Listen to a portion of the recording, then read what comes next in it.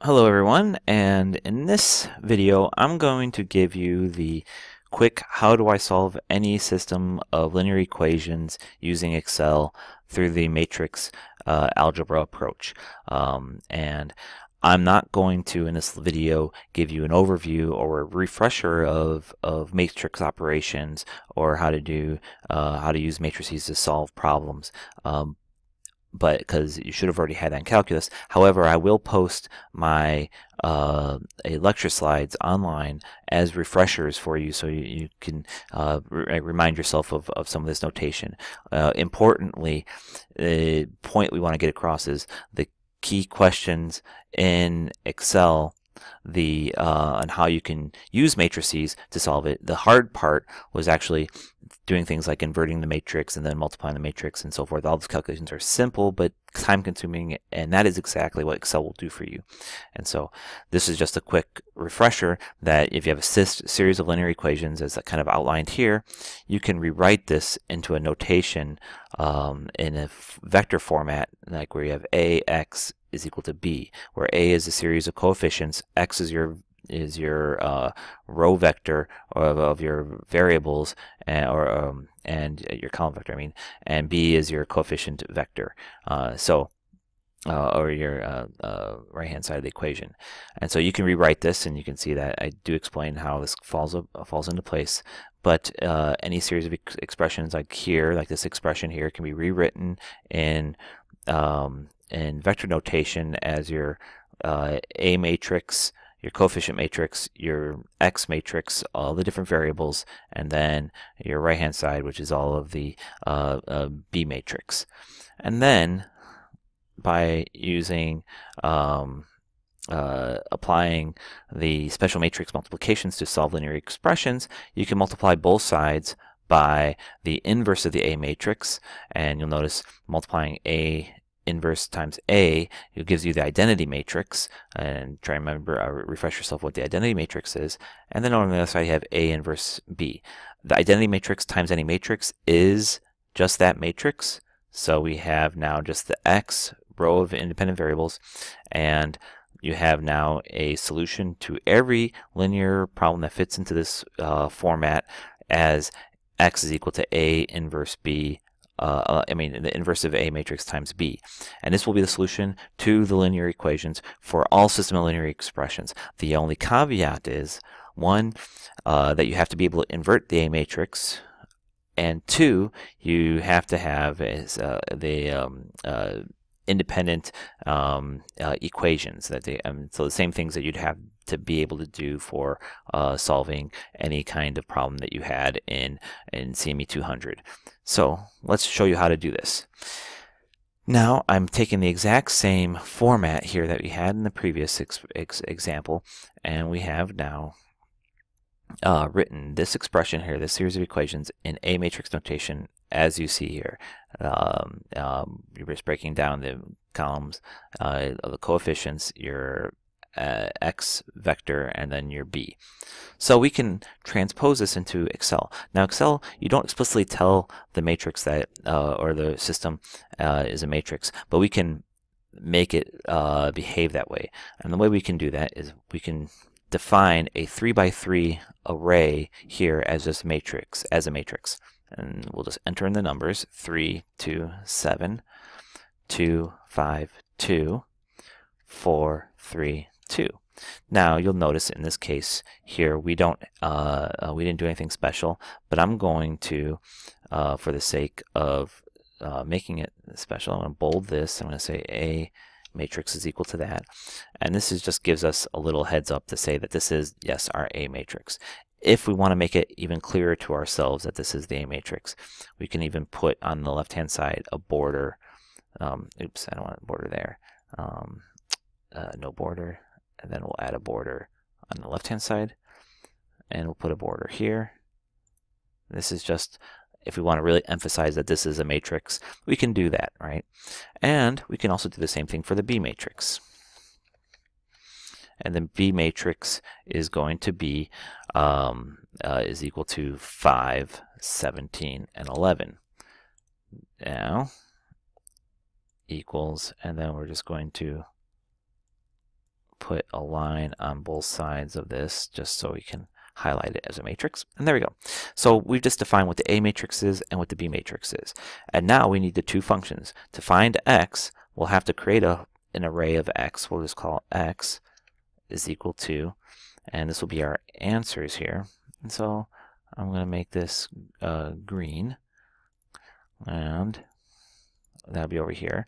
But we first need to have an A inverse function, and we need to have um, uh, way to check to see if if uh, the matrix can't even be inverted. Um, well, the first way we can know if a matrix can be inverted is by looking at a determinant. So uh, we can do the determinant. That doesn't know how you spell it. Determinant, um, and we can do the m determ You'll notice all matrix functions for some reason have m in front of them, m determ, m inverse, and m mult. This is the way we know that they're a matrix.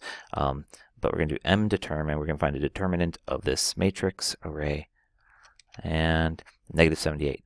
If you know, um, system uh, in a matrix can be inverted as long as its determinant does not equal 0. It doesn't equal 0, so we can invert our matrix. And so we do have a solution. So now we're going to define this as our uh, inverse matrix. So is equal to, and I'm just going to create a new field here as our inverse matrix. Um, and I'm going to put that over here to be the same. I'm going to bold, bold, just so we have this nice and pretty. Now I'm going to put a line here, and I'm going to put a line here. And put a line there. Now I'm going to do something weird um, if it hasn't been weird already.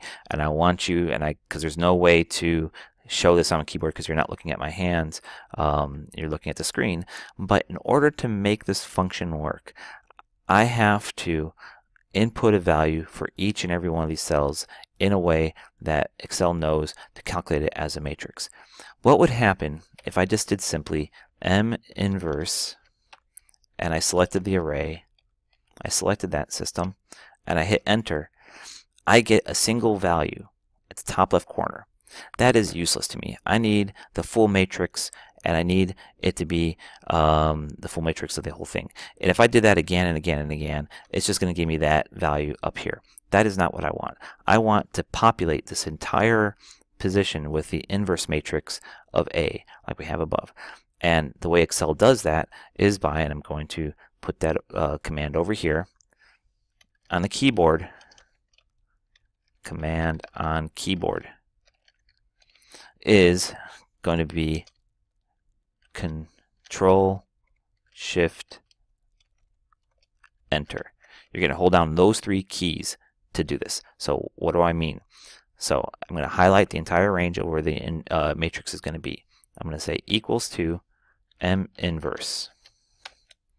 And then I'm going to go up to this array and select all that and enter. Now, instead of just hitting regular enter, I'm going to hold down the control key, I'm going to hold down the shift key, and then I'm going to hit enter. And now we've populated that entire field with the inverse array of A. Great. So now, all I need to do now here is go over to the X matrix and say M mult and we're going to have the first matrix here, comma, the second matrix. Now remember, matrix multiplication is not uh, uh, uh, commutative. It has to be in that order. The dimensions of the matrices must match. So the A matrix on the left, B matrix on the right, Control Shift Enter, and you now have the solution to this matrix. We've solved a series of three linear equations um, very simply in just really a handful of, of keystrokes. How do we know it's the right answer? Well, let's find out. We can actually say, um, uh, we can do a check. I'm going to do a check over here. And the way I'm going to do this check is I'm going to see this first expression is true. It should be 3, 2, 4. So 3 times x, 1, plus 2 times x2 plus 4, oops, plus 4 times x3. And if all goes well, it should equal 5, which should sure enough it does. We can do that again and say uh, for the second equation, uh, we'll just do it this way now. 2 times x plus 5 times x2 plus 3 times x1. And I'm going to guess it's 17. It is 17.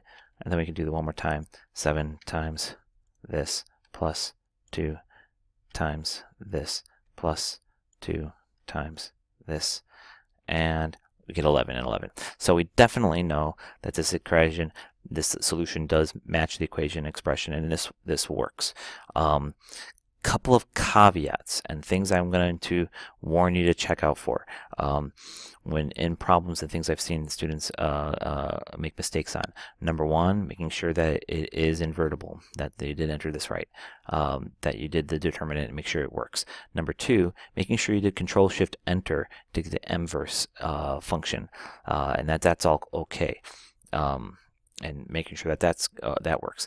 Thirdly, making sure you enter these numbers in. When you get a larger matrix of 5 by 5, say, or, or 10 by 10, it's easy to create it in Excel, but you'll start to realize that the scale the numbers of like a 5 by 5 matrix starts to become a uh, rather large array of numbers that it's very easy to enter in incorrectly. So be very careful to make sure you entered in the values correctly on that.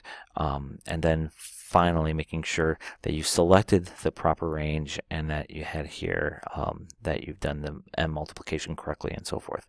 Um, the other other trick I'm going to tell you and watch is if I go into here into this matrix and you'll notice it's got these little funny um, brackets now in this letting you know it's part of an array.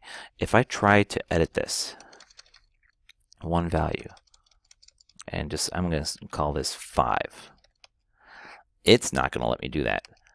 It's just not going to let me do that. And some of you might get panicky because if you notice, I hit enter, enter, hit delete. Um, it's not letting me get out of this. This is an example. It's very easy to get caught in a lock in Excel, matrix, math, and not knowing what to do. Just hit escape. Remember your your uh, solution to most uh, scary things that can happen in Excel when you feel like you're locked out of something or you or it's forcing you to do something you don't want to do. Just hit escape and that will solve almost every problem. Uh, so uh, in the end, this is as complex as matrix calculations go.